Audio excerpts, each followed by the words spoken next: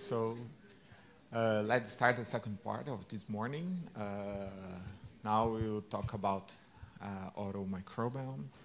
Uh, that's my uh, my life actually, and uh, from Professor Purnima, it's the responsible for that. And so thank you again, Professor. Please. Thank you. Let's continue. So you're all brave. Those of you who showed up for the second session, I'm proud of you. So, so let's talk a little bit about risk assessment. So we talked about how we're going to fill these buckets, right? So, so that's a big bucket that's left open. And, and we're going to now talk about the work that we are doing in this space. And of course, you folks are also contributing in a large way to this space. And, and how, what it takes to, to um, this one. But some of you are familiar with this, with this place here. That is called the Horseshoe, Abel. Yes. So this, we are, we are from, I'm from the Ohio State University. So, so we don't take anything seriously but football. So to us, football is religion.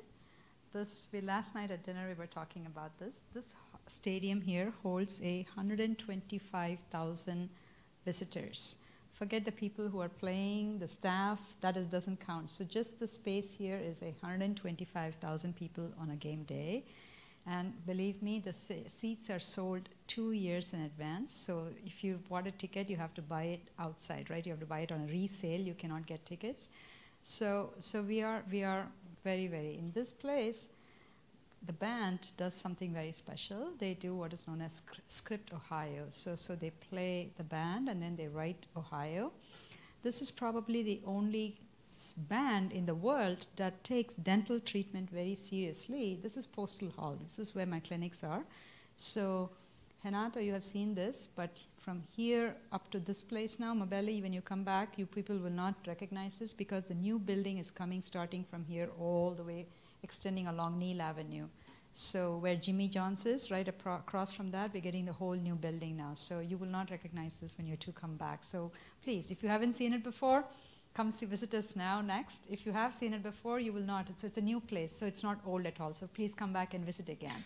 So we're, we're more than happy to, to have you folks come back and visit. Brenda, you will not know this place anymore.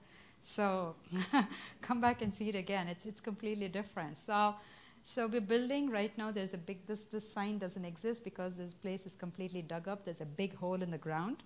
We're going to fill it. We're getting a completely new clinical space. So 2020 will be a good time to visit to see our new facilities. So please do come, come visit. So uh, let me see if this plays. Our band is very, very special. This is the only band in the world that takes dental treatment very seriously. This band here is going to do the floss dance. Let's see if that works. Yes? No?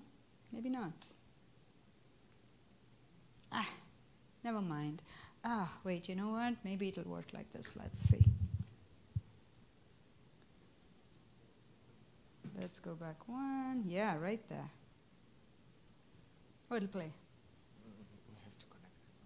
You don't need the sound. It's just, yeah, I think that should play. I think it should work. Let's see. Yeah, it's thinking about it. It's thinking about it. Let's see, it's spinning there. So if it does the floss dance, you can see the floss dance. If it doesn't do the floss dance, I'll tell you that our band does the floss dance. It's very slow. It's very slow. Hmm? Oh, that's for the sound, right? Yeah, it's okay if it does no sound. I don't think it's going to play. So there went the floss dance. Doesn't matter. All right. So so in this place we do a lot of lot of fun work. So so uh, I I call this Ubuntu. Ubuntu is a African word which means I am because we are. What you're seeing today is just the face of my lab. When I'm standing here as Purnima Kumar, this is not just me. There are about 70 more talented people than I standing behind my back. Some of them are sitting here in front of me. So I have this whole group of incredibly intelligent, bright, driven young people who work with me, who have chosen my lab. I didn't choose them, they choose me. And what I'm showing you today is their hard work. So really, this is nothing to do with me. This is, I'm simply showcasing the work that my students and my collaborators and my colleagues do. So I'm just the voice of all of these people. So I am because they are, right? So we function as a group and, and we, are, we are very collaborative. We do a lot of fun stuff together and with other people. And within Ohio State, we collaborate with, with uh, so Christina and Elizabeth are, are um, infectious diseases. They are urologists, pediatric urologists, and with them we're studying the female microbiome. I call it the her biome.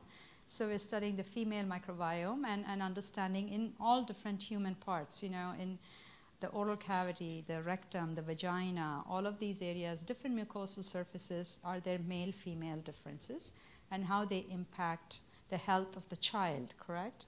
And then this here, um, Brad, Brad, Needleman and Sabrina Noria are both of them um, um, bariatric surgeons. And so with them, we are studying how uh, weight, obesity changes um, oral health.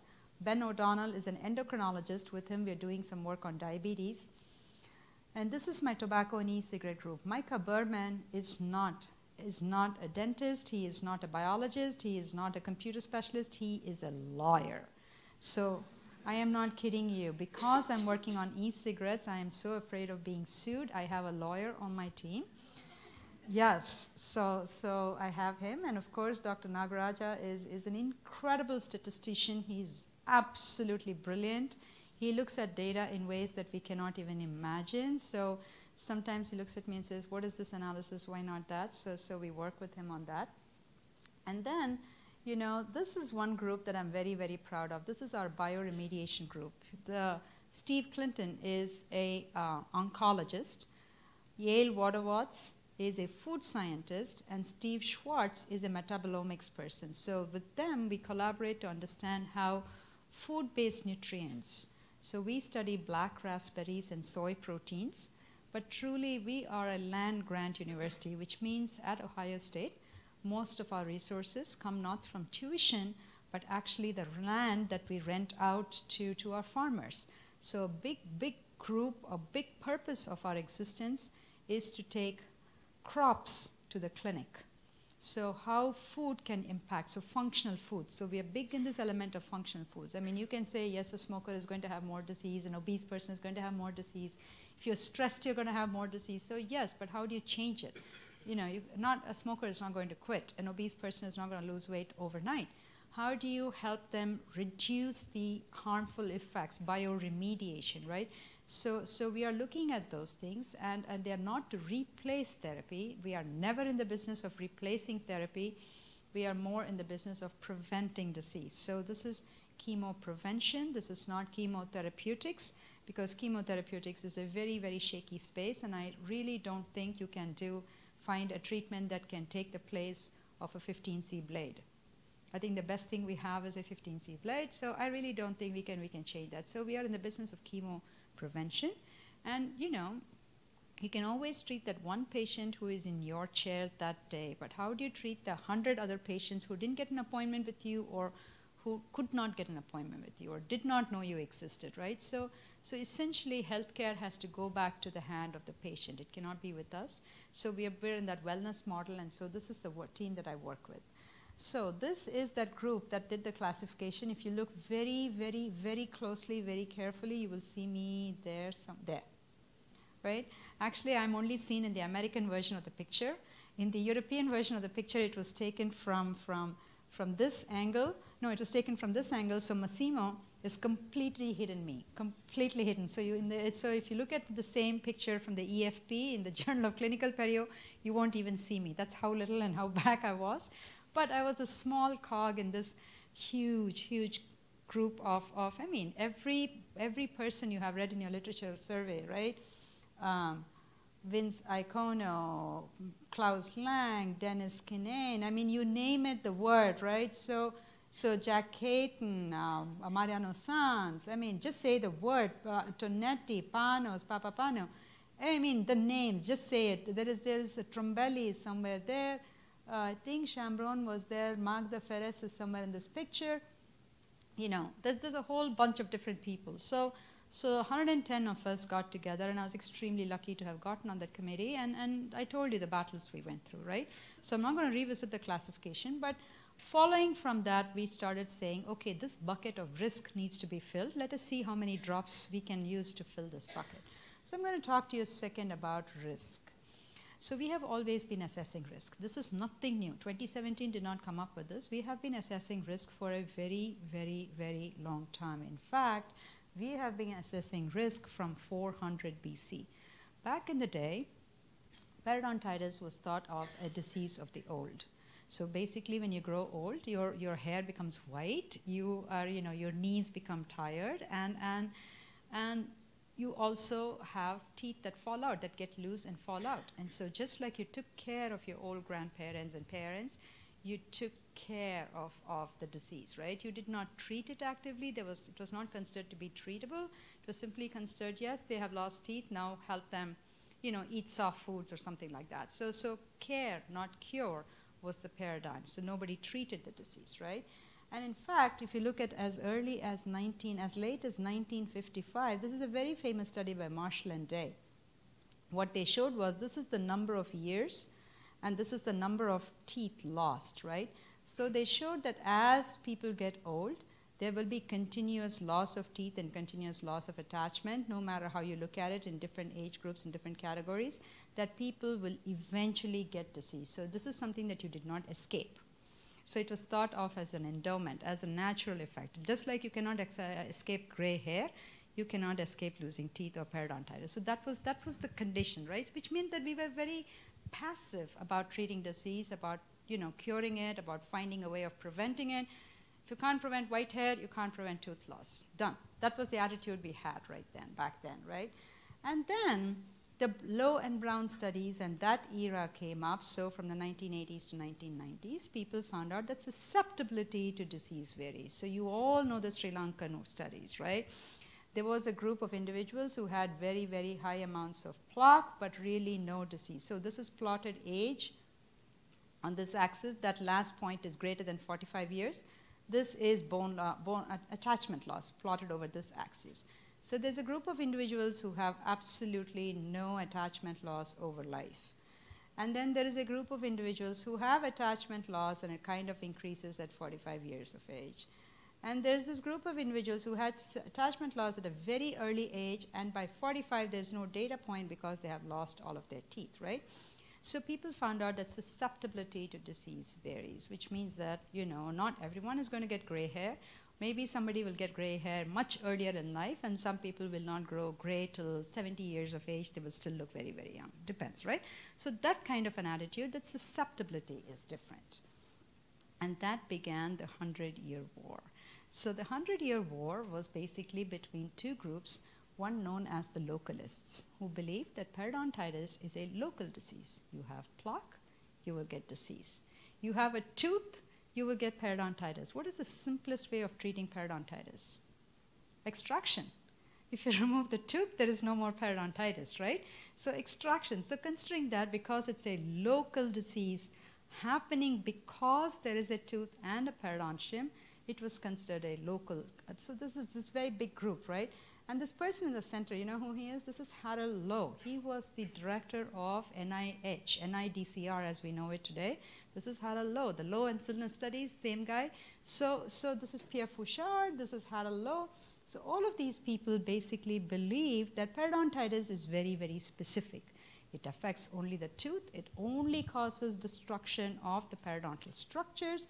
There is no internal cause you know, and, and local interventions. So, so this started the whole hygiene therapy, scaling, root planing, surgery, treat it locally. If you can open that flap, if you can get rid of the local factors, if you can reduce the local inflammation, you can treat periodontitis. So that was the fundamental concept, and that still holds good today. We are very, very, very good at this. But then there's a group that came out and said, wait, wait, just because you treat them, the diabetic doesn't heal well, the smoker doesn't heal well, the obese person doesn't heal well. So clearly there is a systemic component to this, which we are you know, ignoring. And of course, the systemic people went to the entire other side of this thing. They said they called them, you know, they said it's all about a systemic inflammation, right? So they said local irritation is not, and this is This is W.D. Miller here. So this is the man who wrote all about the caries and everything. So that's Miller there. They said local irritation is not the only, only thing. And basically, there are remote causes that decrease the eh, resistance of the periodontium to disease. And because of that, it makes it a lot more susceptible. And that susceptibility is what? So, so basically, what you can do is you cannot always control the remote factors. So basically, it's chronic disease management. So periodontal disease is chronic disease management. It doesn't mean one treat and done, right? So, so both of these concepts together drive what we do. You treat it locally, but you manage it systemically, right? So the treatment that we provide is immediate, but the maintenance phase involves a lot of systemic factors. So, so truly, this is where we are today, and this is how the whole risk assessment process began.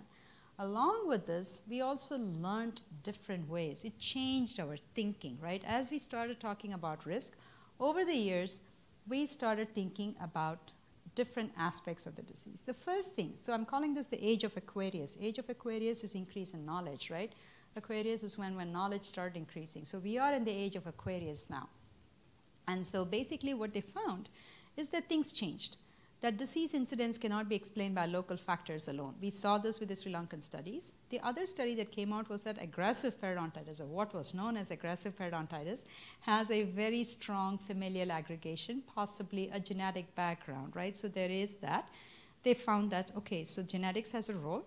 It's not always, and 50% of the variability in chronic periodontitis can also be explained by genetics. So it is not simply bacteria equals disease. It also means that there are other factors involved in that. And so, as we started doing that, people started thinking of different treatment goals. And we've gone through a whole evolution on treatment goals here, right? From 4000 BC to 1960. So, this were the instruments that the tooth cleaning slaves of Rome and Arabia used, right? So, they actually had slaves who would come in and clean your teeth, and these were those instruments that they used and our ultrasonic scalers are, and our scalers and ultrasonics are just a modification of the same instrument. So from until 1960, for almost what 1,000, 2,000 years, we've been using instruments that were very, very, very similar, right? So it was mechanical removal of plaque. The, the fundamental thing was mechanical removal of plaque, right? Anybody who sat down, what did they teach you? First year, second year of dental school? On models, we sat down how to adapt instruments, the Gracey's, curette, ergonomics. We spent a lot of time on that. Mechanical plaque removal became very, very important. And then people said, wait, from 1965 to 1985, this was the golden age of microbiology. People said, wait, mechanical plaque removal is not enough. All plaque has to be removed. Specific pathogens within plaque have to be removed, which means antimicrobial therapy. That became really, really big, right? We started prescribing antibiotics for what was called refractory disease. We started prescribing antibiotics for the aggressive periodontal conditions. We started prescribing antibiotics along with other treatments. Mouthwashes became very big. And then, of course, lasers, right? We use lasers for um, antimicrobial properties. And that became the biggest age when toothbrushing, powered toothbrushes, so removal, mechanical removal, right, including chlorhexidine, all of those therapies started becoming important. So we started getting chemotherapeutic approaches, either straight antibiotics or antimicrobial, or simply just chemotherapeutics. So all of that, the whole spectrum, the whole range of it opened up for us. In 1996, Steve Offenbacher, God rest his soul, did one of the greatest things ever. He took the mouth and put it back into the body, right? He said, We are not going to work by ourselves. We are not simply dentists, we are oral physicians. So, so the body has a big effect on the mouth, but more importantly, things in the mouth have a huge effect on the body. So the periosystemic link was established, and he coined the term periomedicine. So the 1996 EFP brought out this word called periomedicine. And so they said not only local factors, local chemotherapeutics, but we also need to control systemic factors and how that changed, right? So that changed the philosophy. And the other thing that we did was we went from what is known as the repair model. When I was a student in India in dental school, oh my gosh, how many years ago now? We were told a chance to cut is a chance to cure. So all of these are very famous terms. As our surgeons will come in and say, cold steel is the best steel. Pick up your blade, pick up your blade. So everything, if you can cut it, you can cure it. Open it. When in doubt, open it. So we cut everything. We, we did surgery everywhere. We cut everything. I think there is calculus here, doctor, open it. I think there is plaque here, open it. So, so we opened everything. You know, the whole thing was repair. You never saw a patient until they had disease. So patient comes to you with disease, you fix the problem, you send them back home, right? So this was the repair model, and this is not just for perio, everything. Patient says, I have a cavity, you fill it. Patient says, I have gum disease, you treat it. Patient says, I have blood pressure, you treat it. So this is the repair model of therapy, right? So, so patient comes, patient is only a patient when they have disease. Until then, they are your friend, your colleague, they're the person on the street, right? So, so this was our understanding of our interaction with other people in terms of who we are as medical people. But then we have now changed to the wellness model.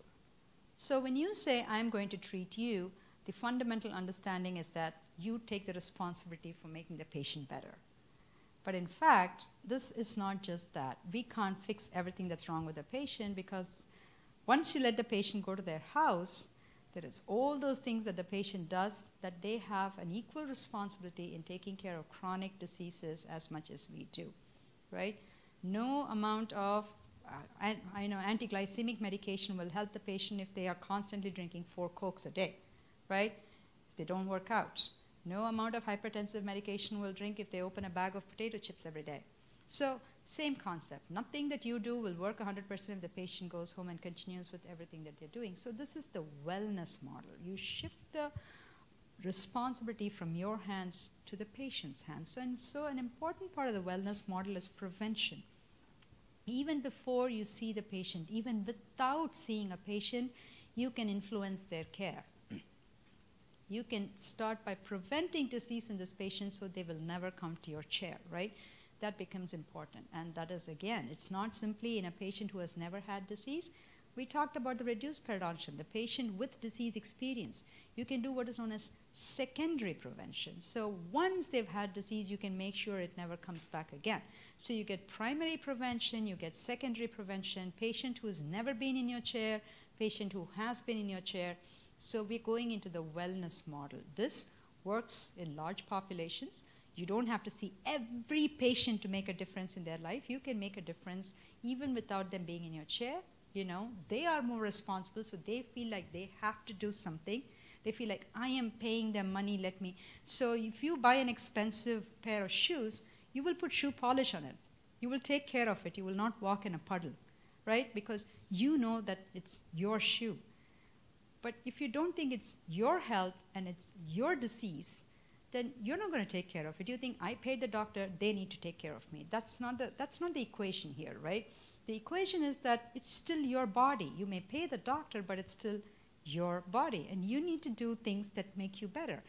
The problem here is they don't know what they need to do and we don't know what to tell them. They'll ask you, okay, what should I do? Should I quit smoking? Is that it? Is it okay if I quit smoking but not lose weight? Right? And we don't have the answers to this, right? So, so we're really trying to find out what should you tell the patients? So prevention, saying yes, you have to prevent disease is very easy, but what are the elements of preventing disease or secondary? So that is truly what we're trying to do here, right? So, so let's talk about risk for a second. What is risk, basically? Risk is the odds that any event can lead to a negative outcome. I'm going to take a simple, ex simple example. How many of you text? Right? Yes, of course, you all text. How many of you text while you're driving? It's okay. There. See, thank you. You're at least honest. I, so, so let's take this. This is, yes, hey, come on. How many of you sent at least one text while you were driving? You don't have, right? Hey, who hasn't? If you haven't, then you're not busy enough. That's all I'm saying. That's all I'm saying. So, so, but, so we all text and drive, or we have at least sent a text while we have driven, right? So this is a statistic from the fatality analysis reporting system. So basically, the United States has a fatality analysis reporting system, and it tells you that your odds of getting into a traffic accident due to texting while driving, right? There are different factors. Not everybody who texts and drives will get into a traffic accident. We all have done it. I'm going to say 90% of this room haven't gotten into a traffic accident. It's not because we're very good at driving or we're very good at texting, right? It's, it's not. Why? What keeps us, right? So then you look at start breaking out, breaking down that data, right? You start looking at why did we not get into a traffic accident? So, I went to this website, and it says the frequency of texting matters. Each text that you send increases your risk by 2.3 percent. Okay, and I'll, I'll put all this in the context. Let's just follow along here. Play this game with me for a second. The duration of text. So if you're texting for every second, increases your risk by 0.9 percent. Okay. The type of text you send. If you're just sending a picture, it's 0.08%. If you're actually typing, it's 1.2%. If you're receiving a text, it is 0.3%. Okay? So if you're reading a text, all of these things. The location matters, but they don't know enough to put a number on it. They know that, you know, being on a highway increases your risk more than you're, you know, increasing. So they know more or less. So this is not a number game yet. Okay? So this is the data you get. So then you take this, hold on, I'm going to go back. I'll, I'll come back to all of this. Yes. So then, okay, let's, let's do this this way. It's much, much, much easier. Okay. So you take that kind of an examination, this, this kind of data, and we'll apply it to the oral cavity. We'll apply it to the oral cavity, right? So basically, when you look at it, what elements of risk? We are assessing risk for periodontal disease. You can do it at the patient level. You can do it at the whole mouth level. You can do it at the tooth level. You can do it at the site level, right? And so basically, hold on, I'm going to get at this. Here it is. So at the patient level, you can look at oral hygiene, their motivation. We just talked about bone loss in relation to age. We can look at genetic factors, systemic factors. At the tooth level, you can look at mobility, residual periodontal support, restorations, tooth. You can. There's a whole bunch. I don't even have to read this to you. Just saying there are lots of factors, right? So people have taken these factors and they have put them into algorithms. The one of the most loveliest ones is this by Lang and Tonetti. Have you all done this on the web? Do you do this for your patients?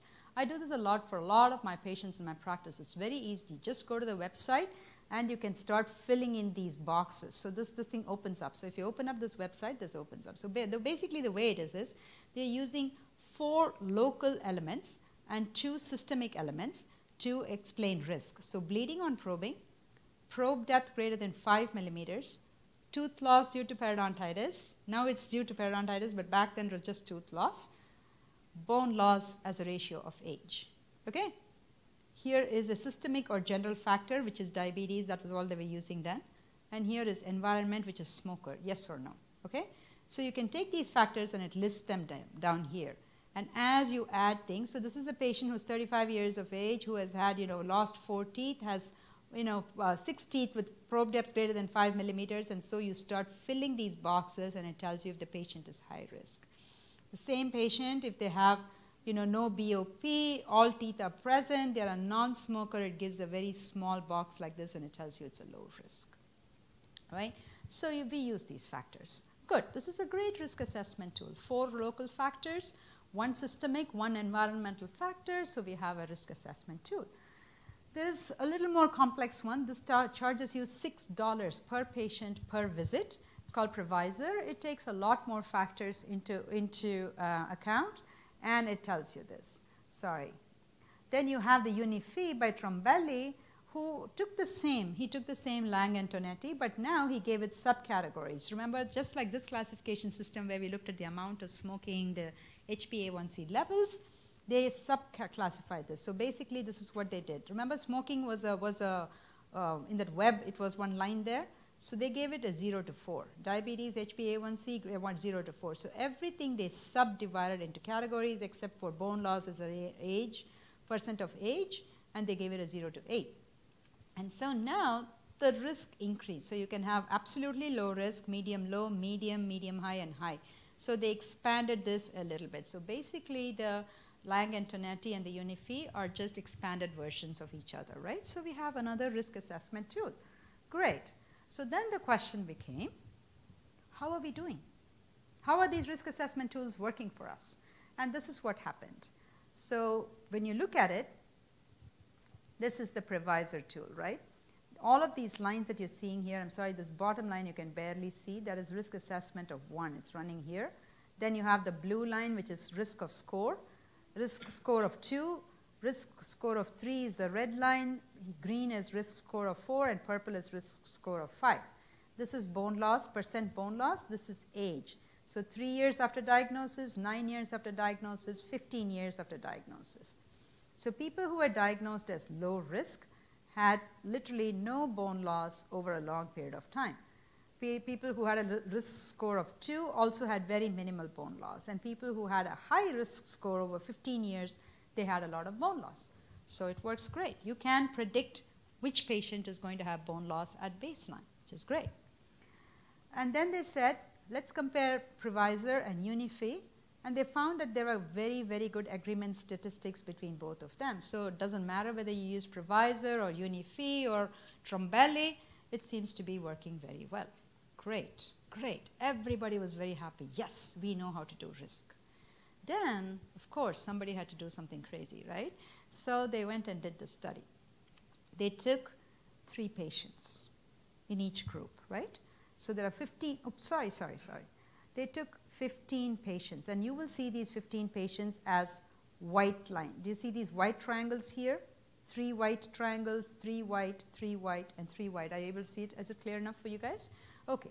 So this is the risk score on the x-axis. One, two, three, four, five. So there are 15 patients here. Three patients with a risk score of 1, three patients with a risk score of 2, so on and so on. Then they took 100 dentists and periodontists. They gave them these 15 patients and say, assign risk score. Assign the risk score. Tell us, what is your risk score for this patient using UniFe, using Trombelli? Give us a risk score. What they found was patients with low risk, 1 and 2, most physicians, most dentists, practitioners gave it a higher score than what it was supposed to be. Does that make sense to everybody? Most people higher, assign it a higher score. So good, okay we can say, hey, we are overestimating risk always. We always don't call a healthy patient healthy. We always say they have chronic gingivitis.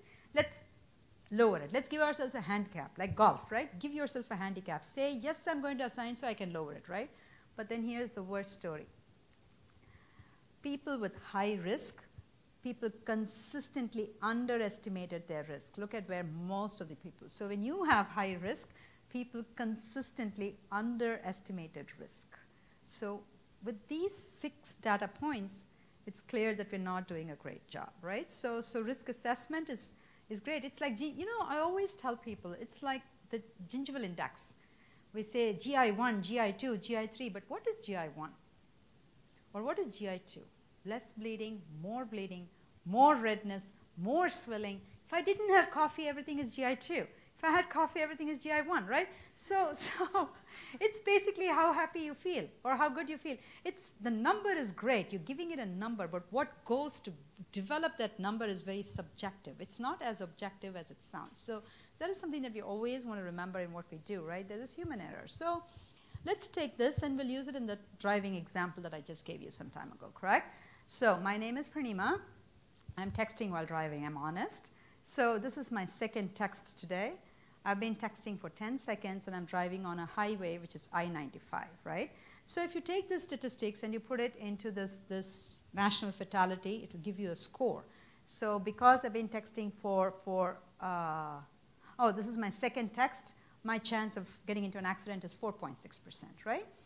Each second, I've been texting for 10 seconds, so it is 9%. It went up, correct? So I'm going to go on. I'm going to go on. I don't know, I'm driving on a highway. How much does it increase my text? I don't know. It's higher than a side street, but there's no value. So if I add up all of this, I'm supposed to get into an accident one in six times. 14%, 15%, which is about one in six times, let's say, right? So every six times I text and drive, I'm supposed to get into an accident. So I was like, okay, I can take that, it's okay. But the actual risk that the government website gives you is 48%. So the numbers you put in, the value you put in to what you get out are not exactly the same. And so if you click on the next site, you say, okay, why? It will tell you this. Wait, we forgot to take other considerations. The speed of the vehicle. How fast were you driving? The distraction, the, the, you know, whether, where you're eating breakfast, where you're putting on makeup, where you're doing other things, where you're talking to your neighbor, right? So distractions becomes very important things.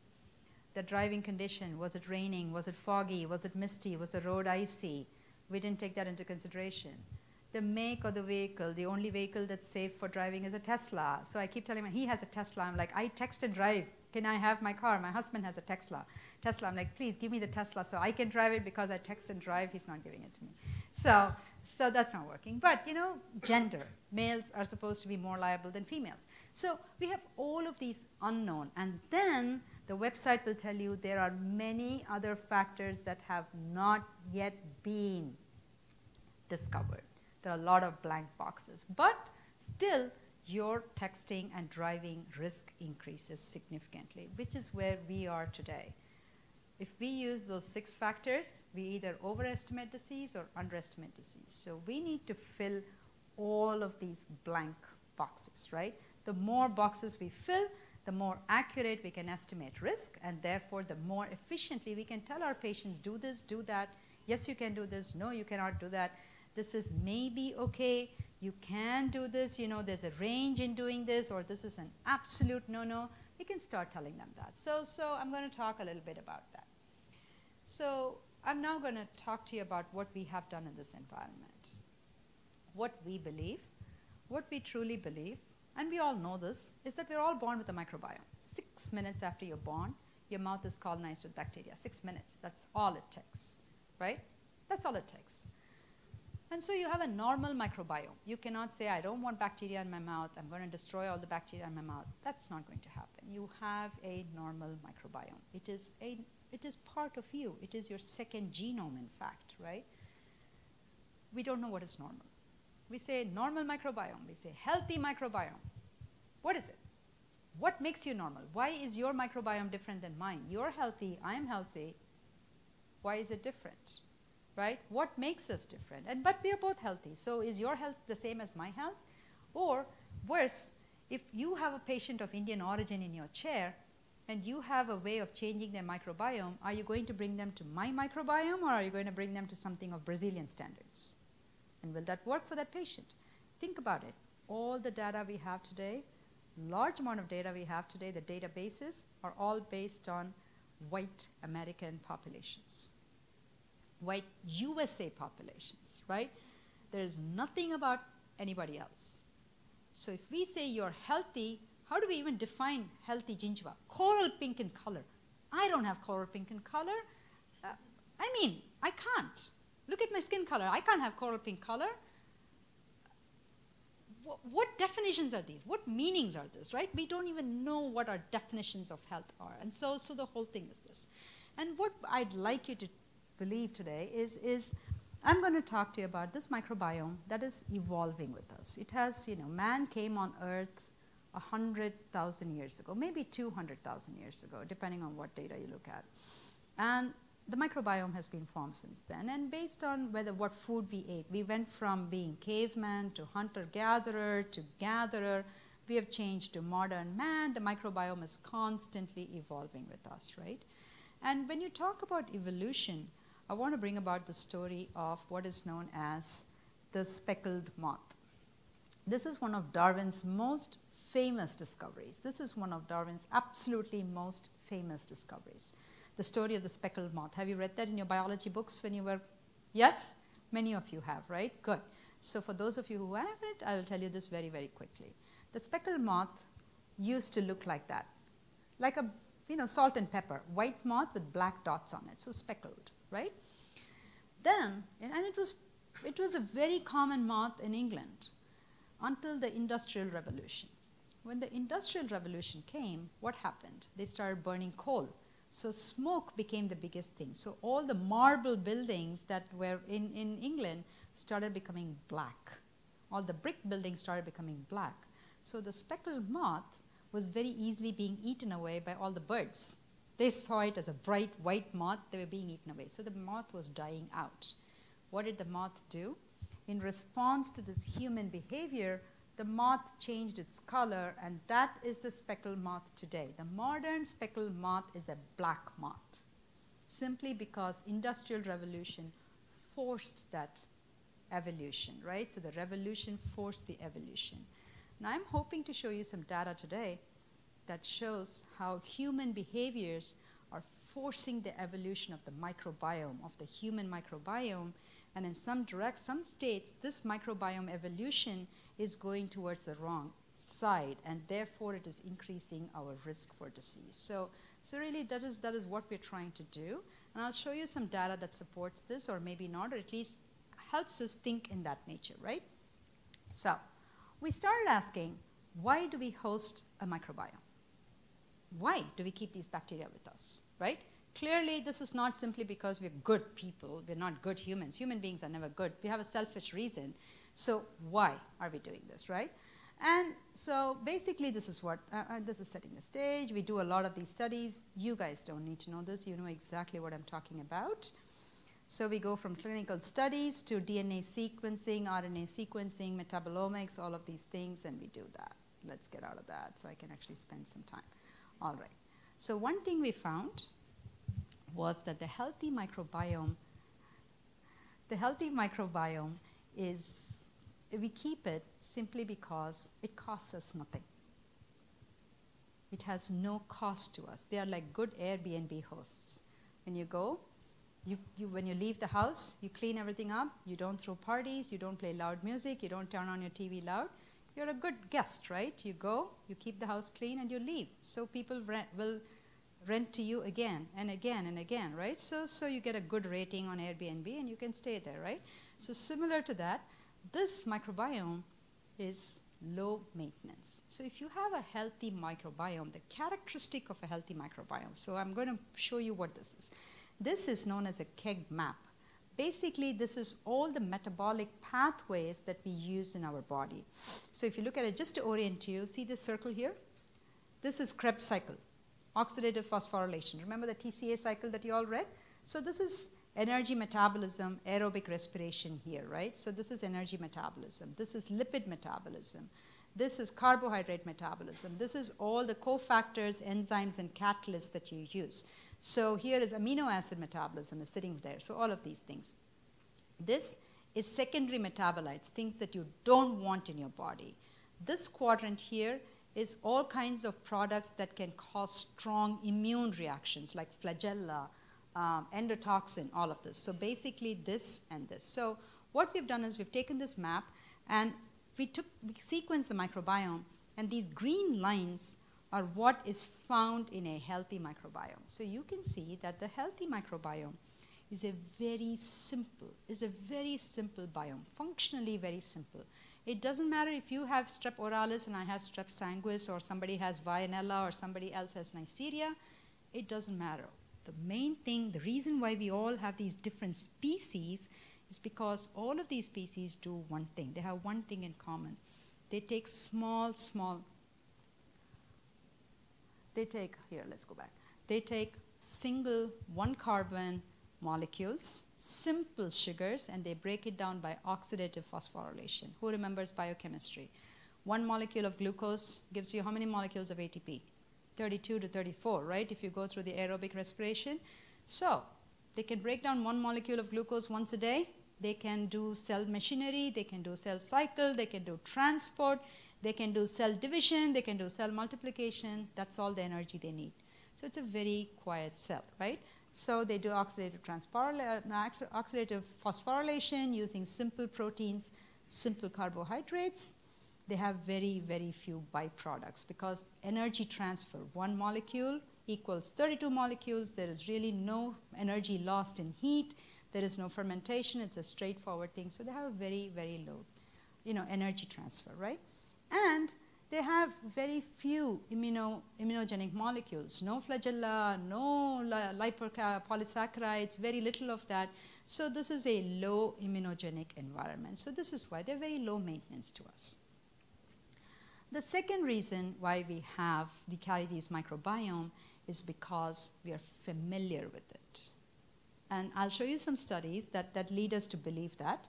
So basically, this is a study that one of our, our people did, uh, Matt Mason, one of my grad students did. And what this is looking at is babies with no teeth, predentate, primary dentition, mixed dentition, and permanent dentition. Don't read any of these. This doesn't matter.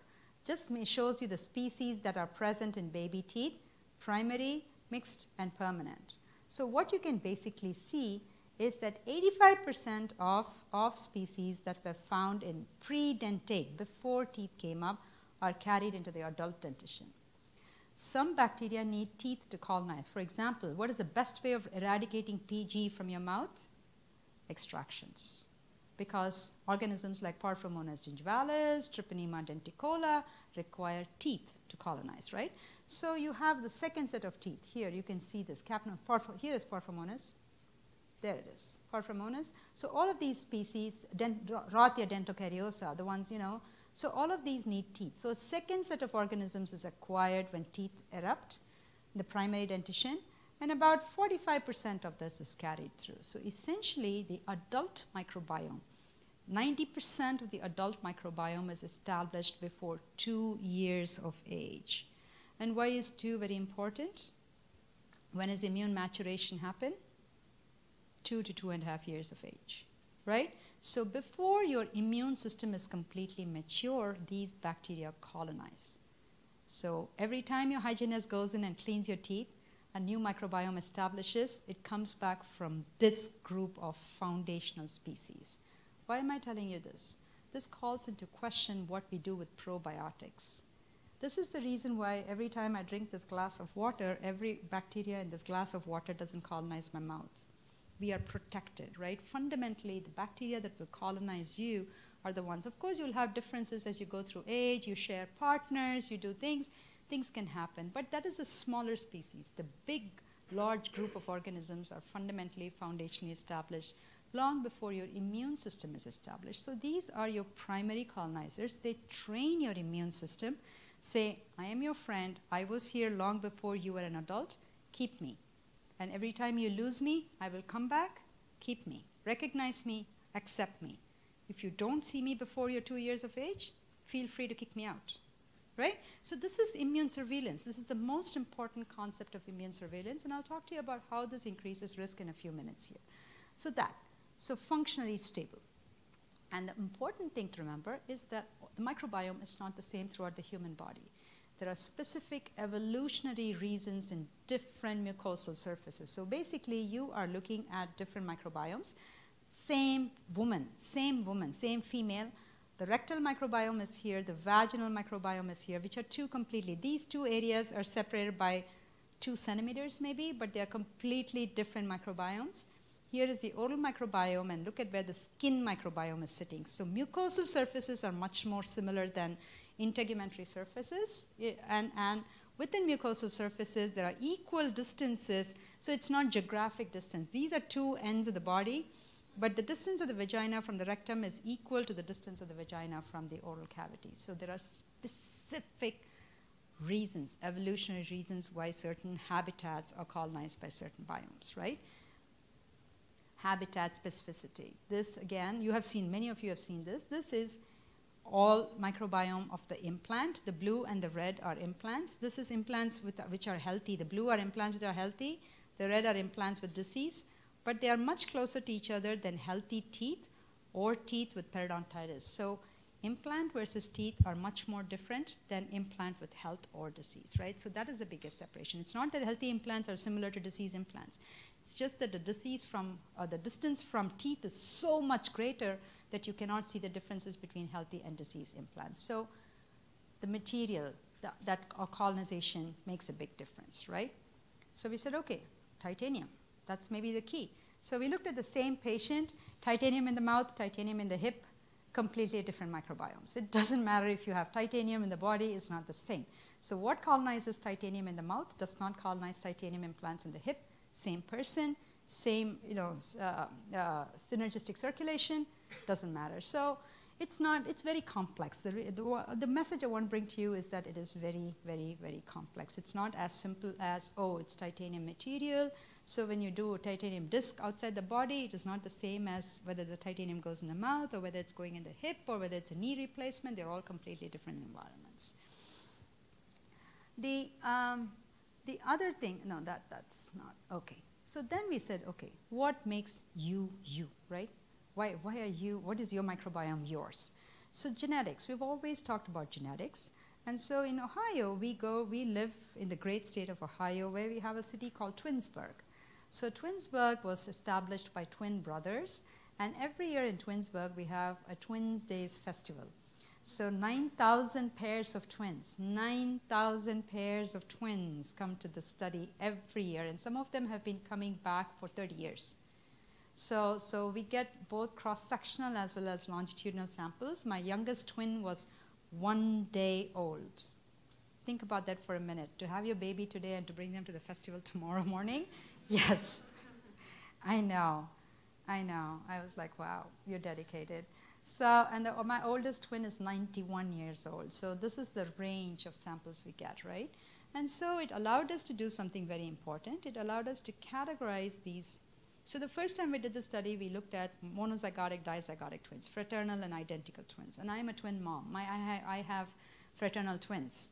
So, so this is why I knew about Twins Days Festival because I went there with my twins simply to participate, and then we went as a researcher, right?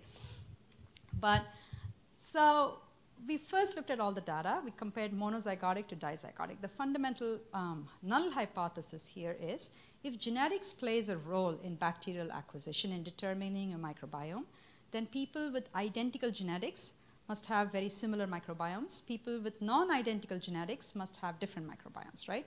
Which means monozygotic twins must have much more similar microbiome than dizygotic twins, correct?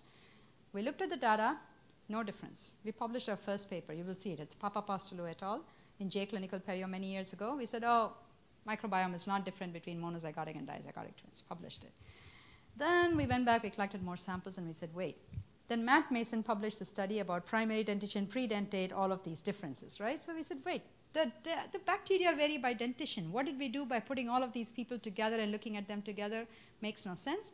So we went back and stratified our data based on whether they are babies, predentate, primary, mixed, you know, we did that. And so what you're looking at here is degree similarity. So, so the y-axis is percentage similarity. That's 100% similar, 80% and so on. So what we found was if you're an identical twin, in the predentate stage, there is an 80% similarity of the microbiome between identical twin pairs and a much lower, about 50% similarity between non-identical twin pairs. You can still see that in the primary dentition, but by the time you come to mixed and permanent dentition, the effects of genetics cannot be seen anymore. So lifestyle takes over, right? So the effect of genetics can be seen in predentate and primary dentitions, but is absent by the time you come to a um, young adult, I mean, teen or young adult situation, right? So, so that is what we found. That was the first thing we found until the primary dentition. Then we said gender, of course. If you look at genetics, the next thing is gender, right? So here you're looking at males and females, and, and we found that there's really no difference. You can't see two different clusters, right? They're all on top of each other. So yeah, men are not from Mars, women are not from Venus in terms of microbiome. It doesn't happen. Then we looked at race, ethnicity, and we found that you could actually differentiate between Caucasians and African Americans living in the United States with an almost 97% sensitivity and specificity. It was very, very good. So you can separate these two groups apart. So ethnicity does seem to play a role. And so then we said, let's talk about human behavior. So basically, what makes you you? Genetics, maybe not gender, ethnicity, right? Ethnicity clearly plays a role. And the fact whatever microbiome was colonized, colonized you before you were two years of age. So this is your endowment, this is who you are. Now let's add a human behavior to this. Let's take smoking, right? The first study we could do very easily was smoking. So you're looking at data from 100 smokers and 100 non-smokers. And what we found was that smokers have really low levels of these species, don't try to read them. They're just a group of species here. And here are a group of species that are periodontal pathogens. And the bottom list here is respiratory pathogens, oropharyngeal pathogens, right? So they have these. And so then we asked, okay, what is the significance of this group of species here? And what we found out, this group is the same as this group, the predentate bacteria that you acquire before, you know, six months of age is what you lose when you're a smoker. So the familiar species are lost, the pioneer commensal organisms that form that long is lost when you start smoking. So that is how smoking alters the oral microbiome by removing familiar species. And so your body loses its sense of balance, right? Who am I? It asks that fundamental question. Your microbiome is now asking, Who am I? Like a teenager, right? So, so it's trying to figure things out. And so that's what happens. And then we looked at this and we said, okay, does smoking affect different ethnicities differently? So we said, now we're playing this game of rock, paper, scissors, right? How many of you know rock, paper, scissors? You all know what rock, paper, scissors is, right? Rock, paper, scissors. Which wins? Yes. So now we're going to play this game of rock, paper, scissors. So we said, okay, ethnicity. We know ethnicity has a huge influence on the microbiome. So the question then is, are African Americans more affected by smoking than Caucasians, for example? And the answer is, if you're a non-smoker, we can tell the Caucasian apart from the African American. But when you start smoking, that vanishes. So smoking supersedes the effects of ethnicity. So when you start a human behavior, that changes your ethnic, your, your genetic endowment, right? So, so it changes the effects of this one. So then, rock, paper, scissors in terms of ethnicity and, and, and smoking. Um, smoking, where is it? Ah, here. Let's look at gender. Remember this? I said gender has no difference on the microbiome. Okay, this is all people all together. I'm going to separate this based on smoking. Here are females. Female smokers are pink, female non-smokers are clear. You can see that there is no difference, right? Here are males.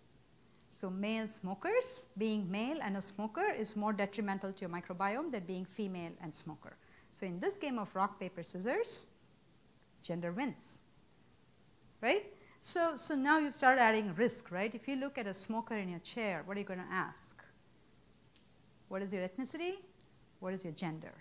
Or if you have someone of African American origin in your chair, you're going to look and say, are they female? Are they smokers? So we're adding layers to this risk, risk story, right? It's not single, it's multiple factors. And so then we said, okay, this is a cross-sectional study. So this is Sukirth's data. He did a smoking cessation study.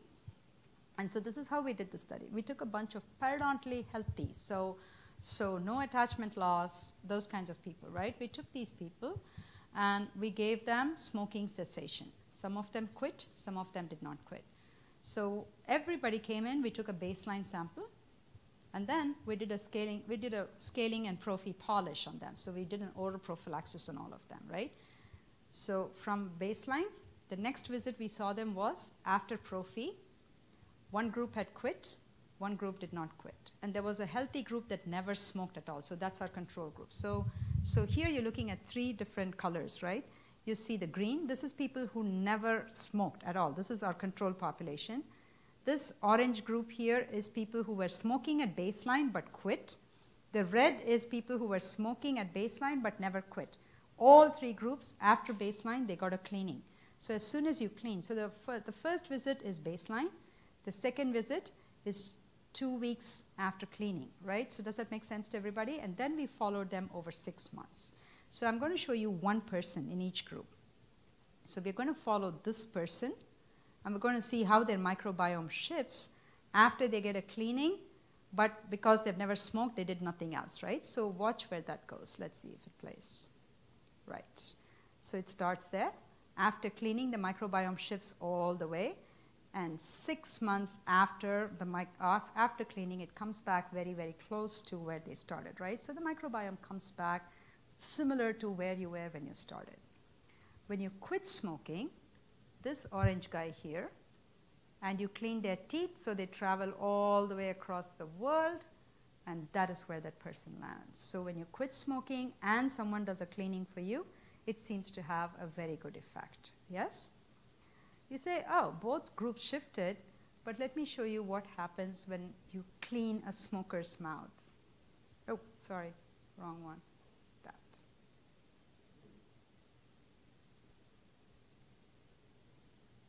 Really nothing. Right? They started where they are, they stayed where they are, so they don't move. Right? So smoking cessation is far more important than oral prophylaxis moral of the story. I mean, these are clinically healthy people. They are only 20 to 27 years of age. These are our young adults, right? And, and they think they can walk in front of a bus and they won't die. So these are people who don't believe that death happens to them. They are immortal at this age. But that's what happens, right? So that. Then we looked at diabetes. We said, okay, let's look at, look at diabetes. And the diabetics are in blue. The controls are almost always in green in all of our studies. You can see that diabetics separate from, from non-diabetics, right? And this is HbA1c of less than 6.5, less than or equal to 6.5, 6.5 to 10, greater than 10. So you see that there is a beautiful dose response in terms of uh, hyperglycemia and the microbiome. So the microbiome responds to levels of hyperglycemia, not just hyperglycemia alone, right? So then we said, okay, let's start thinking about obesity. What does obesity do to you? Sorry. Obesity, you're looking at three groups here. This is orange is overweight, yellow is obese, and this is normal, BMI of greater than 25.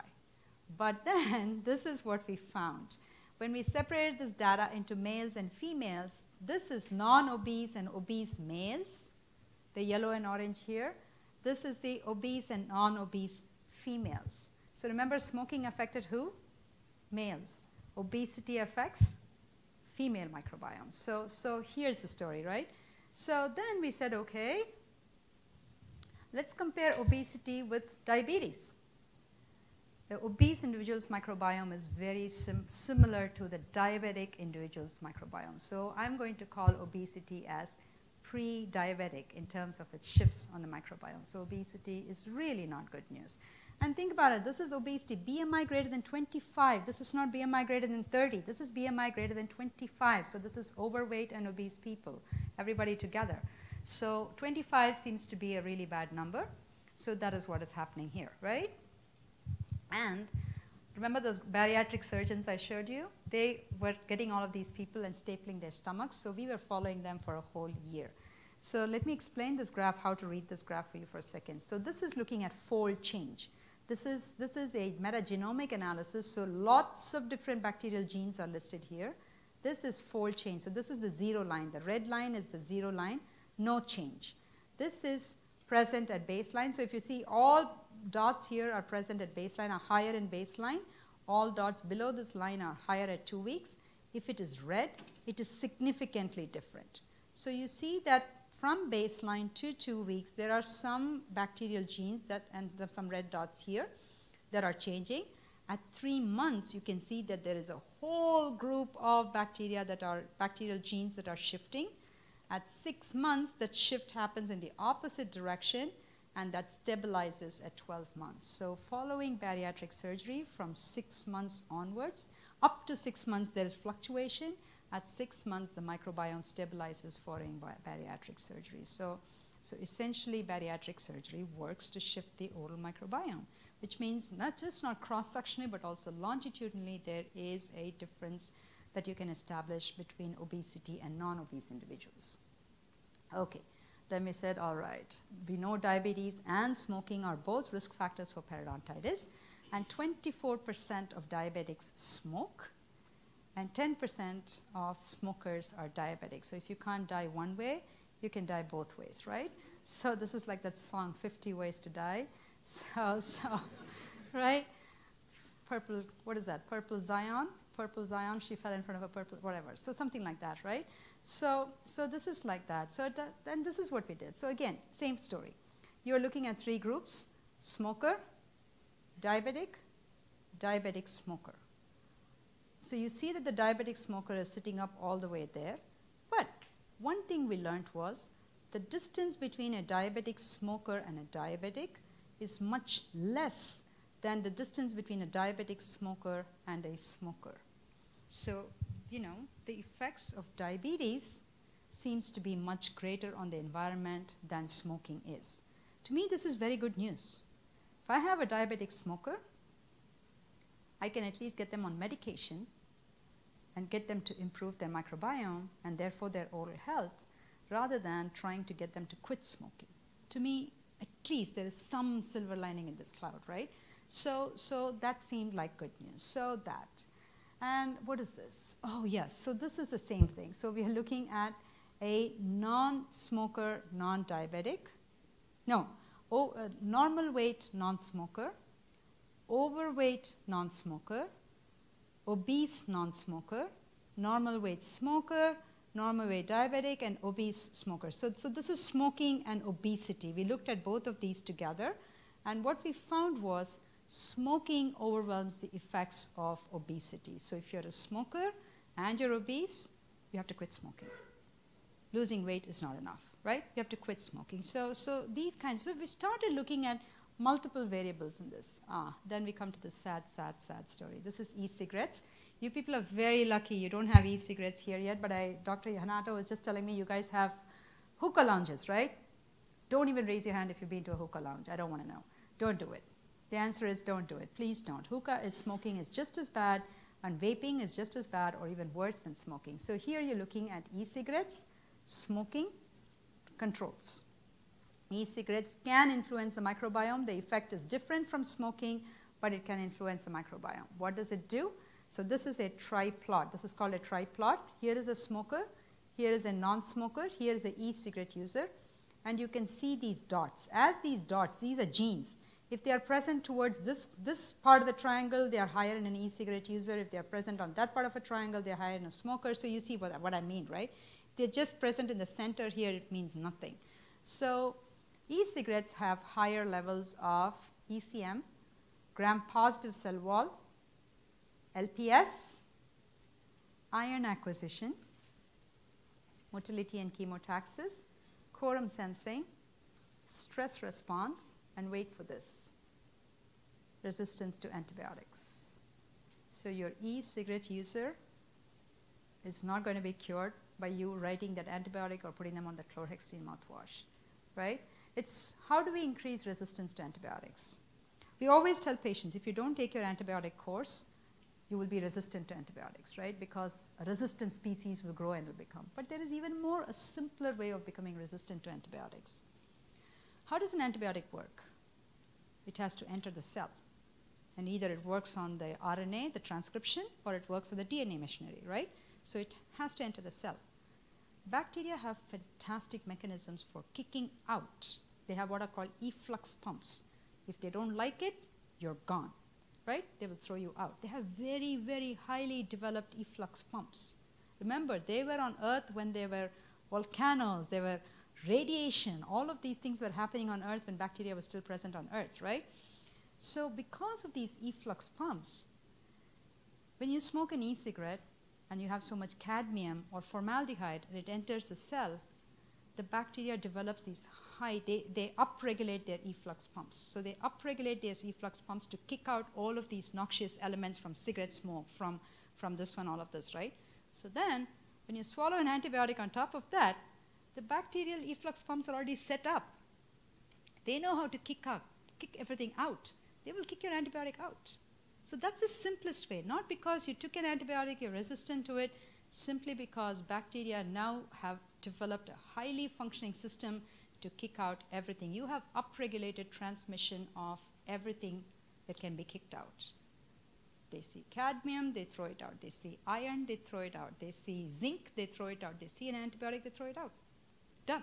So you have trained your bacteria to become a superman, right? You become made it the super bug because you have been doing this human behavior. So, so this is really what I want people to understand because we shouldn't always say antibiotic resistance is when you don't complete a course of antibiotics. That is not even true anymore. There's no course of antibiotics. Antibiotic resistance happens when you do stupid things like teach your bacteria how to get rid of noxious products. We are training these bacteria, right? So, so that is what is happening here. Okay. The other thing we did, and I'm not going to spend a lot of time on this, is to see if e-cigarettes can be used to quit smoking. No, don't do it. So e-cigarettes are maybe a great tool to quit smoking, but then you will have a new addiction. You're not quitting smoking, you're developing e-cigarette addiction. So decide, would you rather be a smoker or a vapor, right? So that's the thing you want to remember with this. Okay, this is another thing that we did.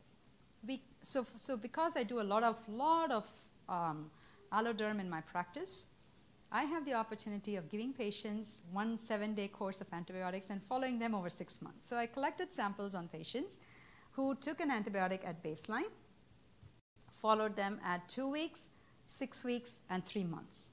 So seven days of antibiotic use shifts the microbiome completely for three months. In three months, the microbiome has not come back, right?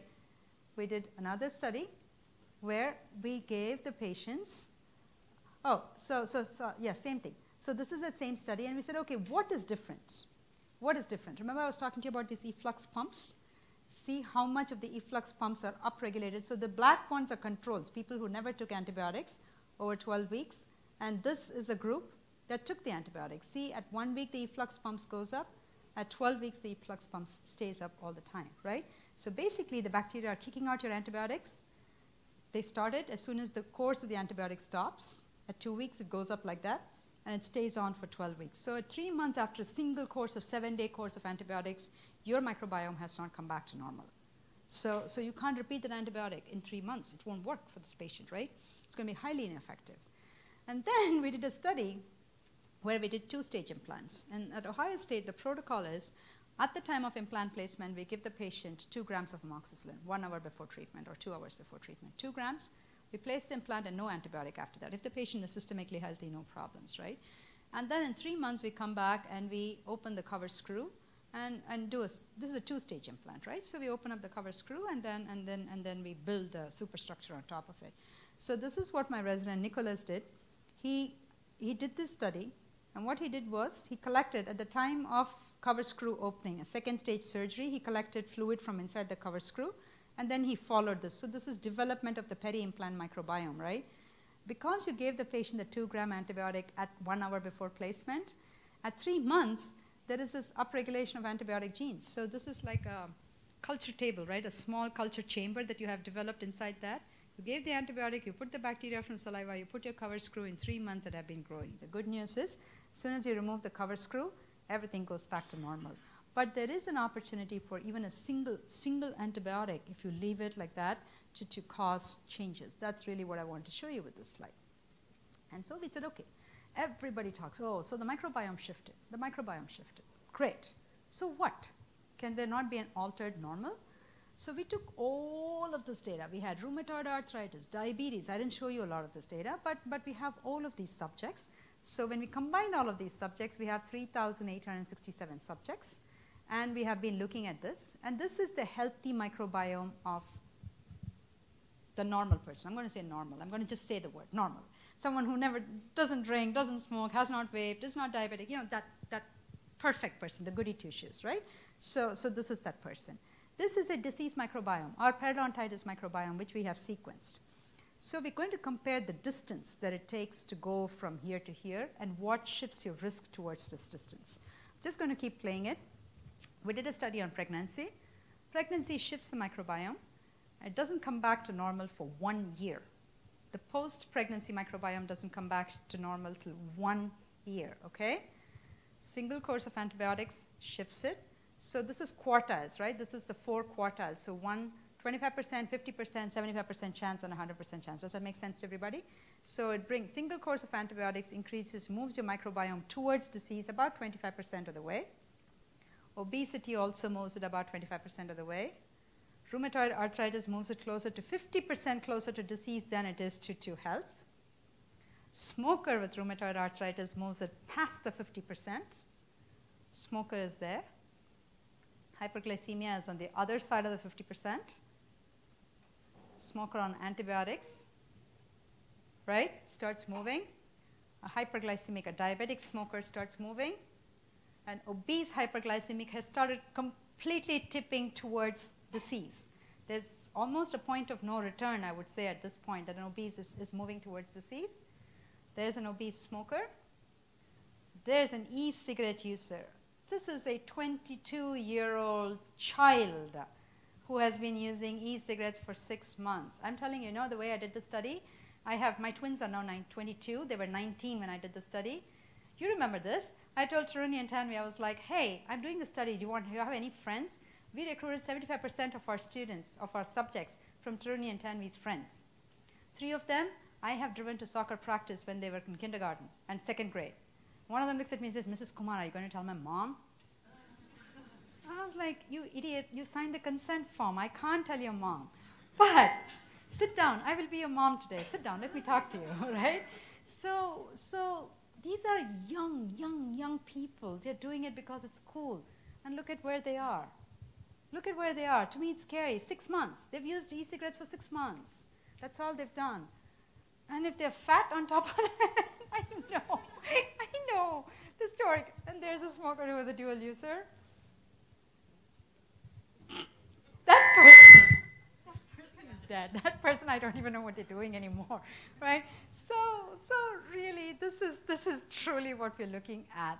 This is what we're trying to do with risk. Just understand what drives your risk towards disease, right? So, so, and there's an obese hyperglycemic smoker. So as you add more and more and more human behaviors to this, we see that we're shifting, we're tipping the balance more towards disease than towards health, right? So that, maybe I have any more points? No, that's it. Okay, I am going to finish with this one story here. I really want to talk about the story because I know you guys are working in this space. So remember this picture. This picture comes up all the time. I'm showing this too many times today. But remember this picture? We talked about your microbiome is established when you are before two years of age. The second question we asked was, where is this microbiome coming from? All right. We found that it comes from the mom, right? The baby micro, the pre-dentate microbiome. After that, it starts shifting. The child's lifestyle, other things take. But basically, the fundamental, we had the predentates were zero to one week old babies. So one day to one week old babies. So within the first week of your life, your microbiome is acquired from your mom, right? As we were doing the study, we did one more thing. That should, that should say smoking, not obese. We looked at women who smoke and we looked at their babies. So women who smoke during their pregnancy, the babies have a different microbiome than women who did not smoke during pregnancy. And I was telling about Kazine. She's also looked at women who took antibiotics during pregnancy. Their babies have a different microbiome than. So maternal smoking and maternal antibiotics seem to play a giant role in influencing the child's microbiome. And so we said, okay, if these children are different, how are they different, right? We found that these children carry lots of Fusobacterium nucleatum and Campylobacter concisus in their pre-dentate microbiome. The first slide I showed you, I said Fusobacterium nucleatum needs a tooth to colonize. It doesn't show up till the primary dentition. These children are getting FNOC even before they have teeth. So they're starting early, they're starting in pathogen-rich environments very, very early simply because their mom smoked. So then we said, okay, what is the story here? Is this because the mom smokes and so, you know, the child is in a smoking environment? Egija Zaura, no, no, Kjersti Aagaard published this beautiful work, beautiful work where she showed that the placenta actually has a microbiome. It's not a sterile environment. And the placental microbiome is a complete subset of the oral microbiome, not the gut, not the vagina, not the skin, not the uh, uh, ear, but the oral microbiome. So the placental microbiome is completely derived from the oral microbiome. So Egija Zaura published another thing. What she showed was, or what she summarized, this is actually a summary article, this is a beautiful study. So what happens is, the placenta has a blood-brain barrier, right? It has a barrier which filters everything. It has a barrier here. So bacteria are not going to be able to go from the maternal placenta to the child. But what happens is, at this edge of the barrier, whatever bacteria are stuck on the mother's side of the microbiome teaches the child's immune system, the T-reg cells of the child's immune system, to recognize them as friends. So if your baby has seen these bacteria before they were born, when the child is born, they will accept these bacteria as friends because the immune system has already been trained. If all they see are strep oralis and strep mitis and, and strep salivarius and Neisseria, you're okay, which is what most of our babies see. But if they see Fusobacterium nucleatum or Porphyromonas gingivalis, and when the baby is born, and the mother takes out the spoon from her mouth and sticks it in the baby's mouth, what is the baby's microbiome going, what is the baby's immune system going to say? I've already seen you. I know you. Yes, you're a friend. Stay with me. Right? So the risk for disease is not when this child grows up to be a 40 year old person. The risk for disease is the mother of the child. So I think the risk for periodontitis starts much before. It might, the genetic endowment that we talk about might not be a genetic endowment, it might simply be intrauterine transmission or intrauterine education. We don't know. This is very early data. I'm not going to say anything on this. But we really need to start thinking in these angles and start targeting pregnant women or women who are going to get pregnant. I mean, if when your pregnancy test is positive, what do they tell women? Oh, you need to take prenatal vitamins. You can get spina bifida. You need to get folic acid. Shouldn't they get a cleaning? Right? I mean, this, this to me is, is the scariest part that really we're targeting the wrong population. We're targeting the child after they become a 40 year old adult, but we should have targeted the mother before the child was born, right? So, so maybe that is where we should be headed. So, so education, public education of pregnant and pre pregnant women seems to be, to me, very, very key. Same thing.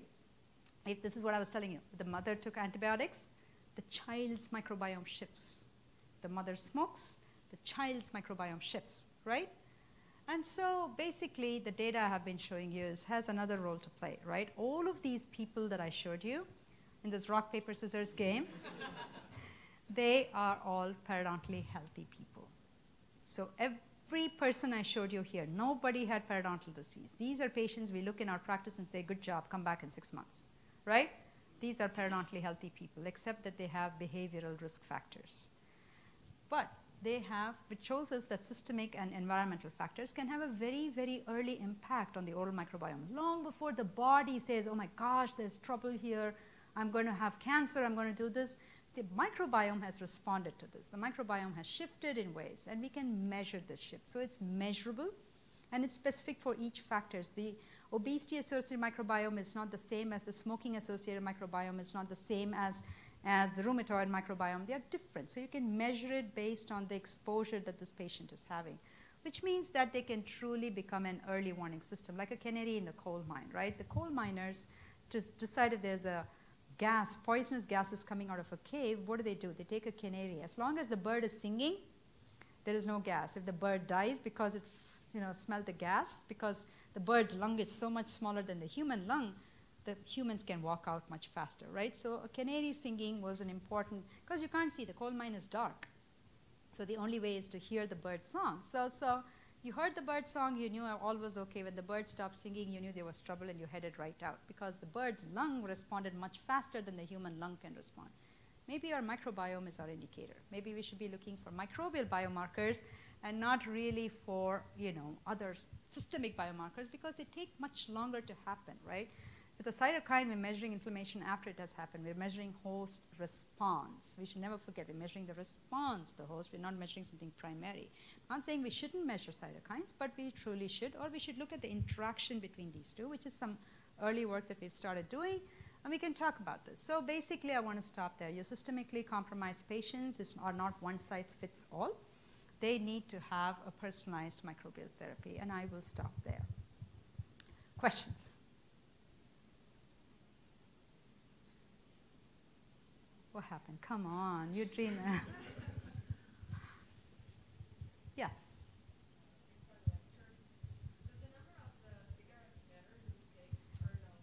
Very good. So, so yes, the number of cigarettes matter, and but we found that after a threshold of five pack day, nothing matters.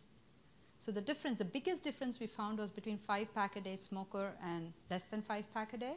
After five pack a day, nothing matters. We couldn't find a difference at all. So if you're looking at early microbiome changes, you know, younger people, that kind of thing, five pack a day seems to be the limit, and then they're done. So that was the biggest difference.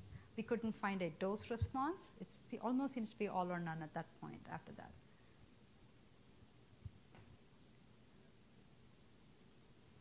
Yes. Sure. Uh, re recently, we have the publication uh, trying to link Porphyromonas gingivalis and Alzheimer's disease. So I, I was wondering if you could comment about that. What do you think? Is it a cannery on, in the coal mine or something like that? Um, so, so that is a very, very beautiful paper. It's beautiful work, and it's you know looked at it in many different ways. So they have done it cross-sectionally, longitudinally, animal model, you know, biological, mechanistic work. So they've put together many, many different elements. So the evidence does seem to point to the fact that Porphyromonas gingivalis can be in the causal pathway, but I don't know that if it can be the only pathway or if, again, like everything else, we might find that there are 50 different flavors of Alzheimer's, right? One might be the PG pathway induced because we know in the population that even with people with periodontal disease, PG is not present in 100% of them. So, so then how, all people who are healthy, I'm, after I read the paper, I really thought I was going to get Alzheimer's because I carry PG. I use my mouth as a culture chamber. So I carry PG in my mouth in very, very low levels.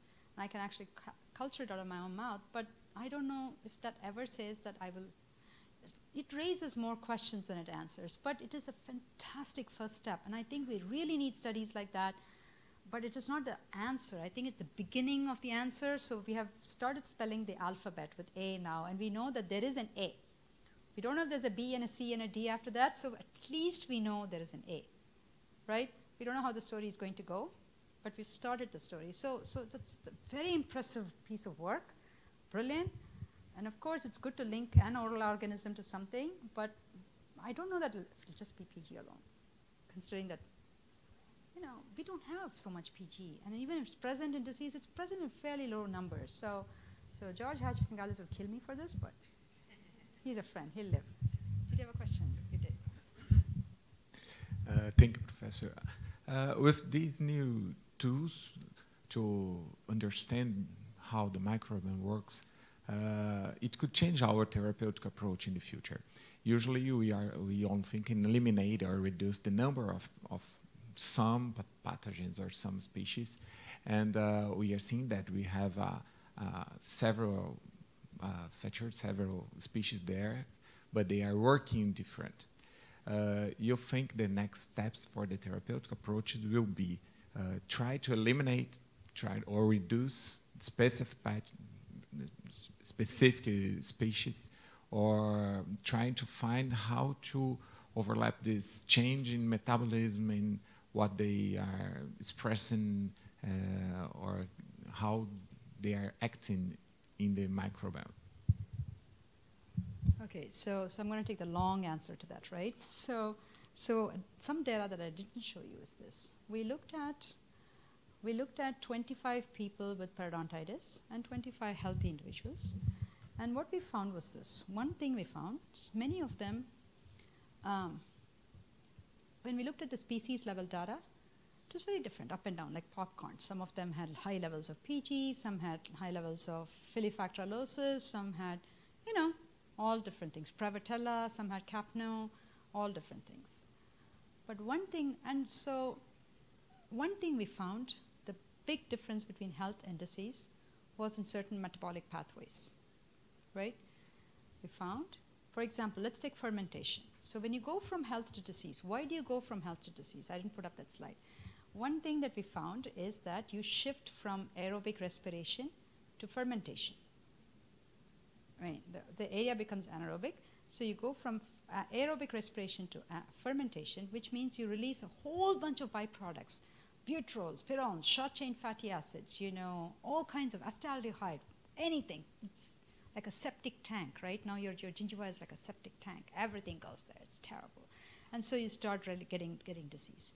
So what we found was, if you take fermentation, it doesn't matter what species is present in disease, all of those species perform fermentation.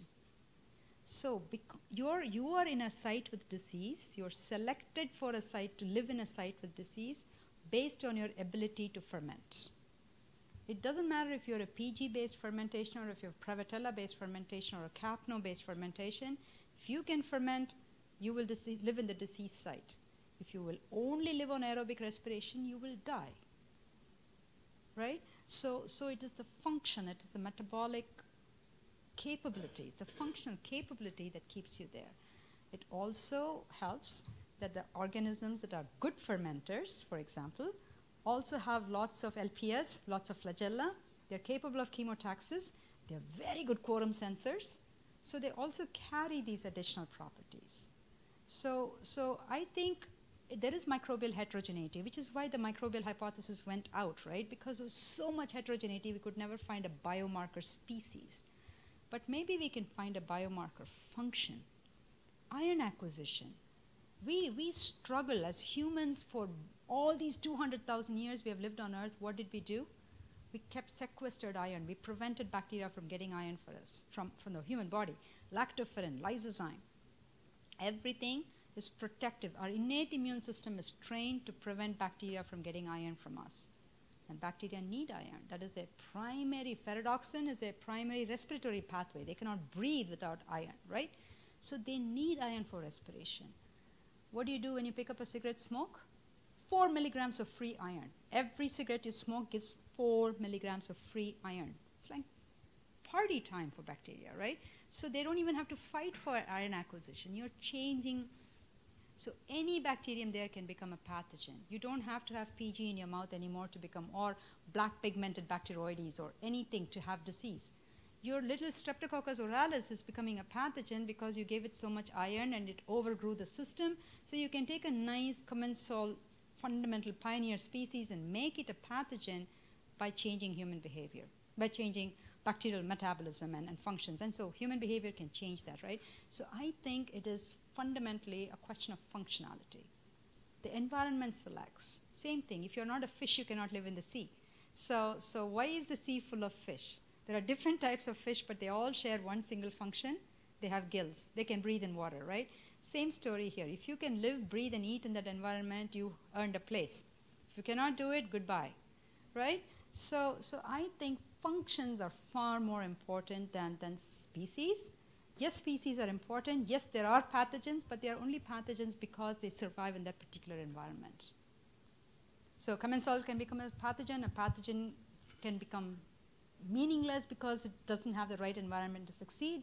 So I feel like that is where the future is, that we should really start looking at metabolic pathways, proteome analyses, things like that to see where we are headed, right? That's what I think. Any other questions?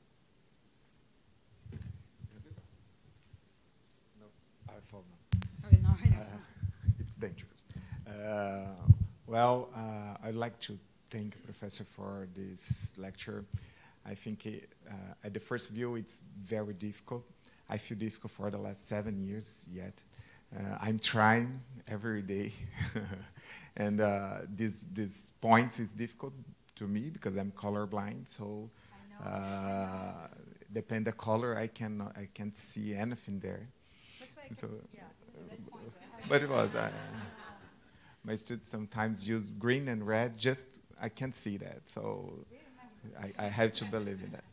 Uh, but it's very interesting. It's opened new ways for uh, for the periodontal, micro, and several uh, other area subjects. So I think it's very important we have contact with this technology, with these results, because I think it's the future.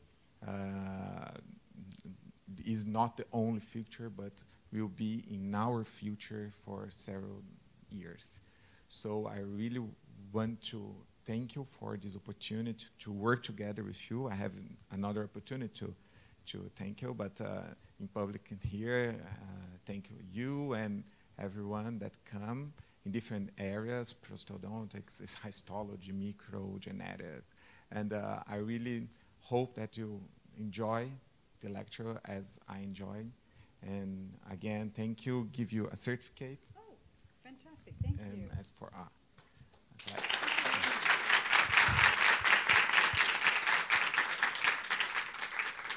Two certificates. Yeah, one for each class. Oh, yay. Great. Thank you very much. Thank you for everybody. Uh, Professor Kumar will stay with us until tomorrow. Uh, at this afternoon, we'll have the mobile defense. Everybody's invited. Uh, I think she will really like if we have everybody there. but um, I would like to thank again for everybody and invite if you want to see mobile defense. It's true. And uh, thank you again.